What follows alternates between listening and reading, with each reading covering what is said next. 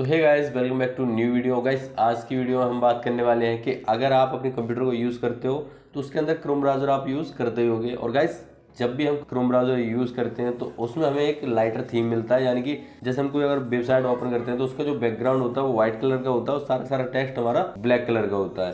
तो गाइस आज इस वीडियो में हम ये जानेंगे कि आप उस थीम को, जो लाइटर थीम है आपका, उसको डार्क थीम में कैसे बदल सकते हो। यानी जो क्रोम का डार्क मोड है, उसे कैसे इनेबल कर सकते हो, इसके बारे में। तो गाइस ज़्यादा देर न करते हुए वीडियो करता हूँ स्टार्ट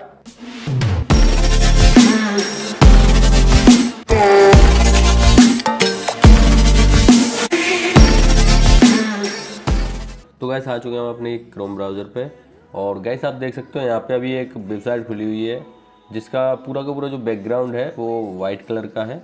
और अगर मैं यहाँ पे दूसरी कोई वेबसाइट ओपन करूँ यहाँ पे तो गैस आप देख सकते हो यहाँ पे मैंने एक दो वेबसाइट और ओपन कर ली है, जैसे एक ये वाली वेबसाइट है ये। इंडिया टुडे एक ये वेबसाइट है और एक ये वाली वेबसाइट है।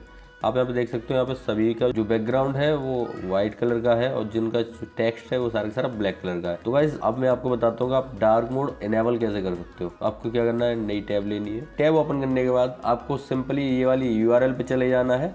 इस पर चले जाने के बाद आपको यहाँ पर सर्च बॉक्स एक मिलेगा सर्च फ्लक्स का। तो आप इस पे सिंपली लिखेंगे डार्क। और डार्क लिखने के बाद यहाँ पे आपको दिख रहा होगा यहाँ पे auto dark mode for web content उसके बाद यहाँ पे डिफ़ॉल्ट को हटा के आप सिंपली आप यहाँ पे इनेबल कर दीजिए। उसके बाद आपको नीचे ऑप्शन मिल जाएगा रीलॉन्च का। सिंपली आपको उस पर रिलॉन्च कर देना है। और गाइस अब आप देख सकते हो यहाँ पे हमारा जो क्रोम ब्राउज़र है, वो रिलॉन्च हो चुका है। और आप, अब हम किसी भी वेबसाइट पे जाएँगे, हमें सारी की सारी वेबसाइट का जो बैकग्राउंड है वो ब्लैक कलर का दिखाई देगा और जितना भी टेक्स्ट है उसका सारा का सारा हमें व्हाइट कलर का दिखाई देगा। तो गैस आप देख सकते हो यहाँ पे ये एक वेबसाइट है, ये वाली, जो मैंने आपको दिखाई दी।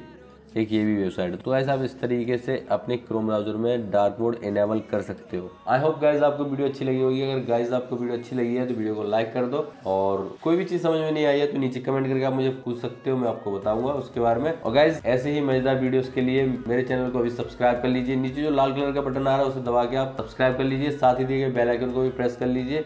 उससे ये होगा कि मैं जब भी कोई वीडियो डालूँगा तो उसकी नोटिफिकेशन पहुंचेगी। आप कोई वीडियो मेरी मिस नहीं करेंगे। तो मैं मिलता हूँ आपको अगली वीडियो में तब तो तक के लिए बाय